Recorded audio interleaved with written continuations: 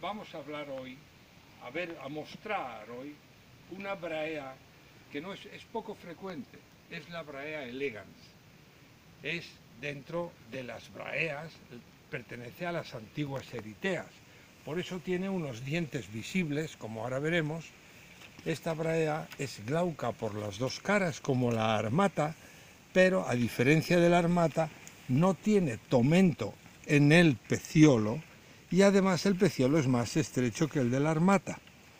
O sea, es una eritea porque tiene dientes visibles y si tuviera flor veríamos que las flores están agrupadas y que el fruto es grueso. Luego es una antigua eritea, hoy en día braea.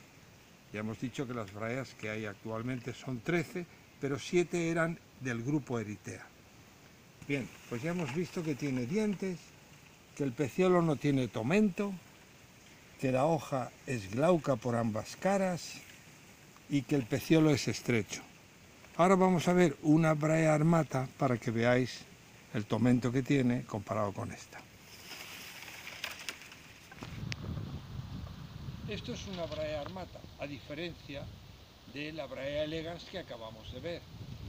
¿Qué le pasa a esta brea? Pues que tiene los peciolos más anchos que la brea elegans y tiene tomento en el peciolo. Fijaros, fijaros ese tomento marrón que tiene distribuido por todos los peciolos.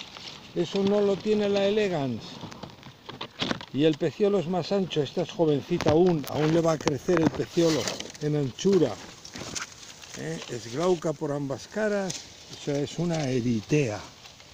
¿Eh? Pero acordaros que esta tiene tomento y la elegance con peciolos más finos no tiene tomento.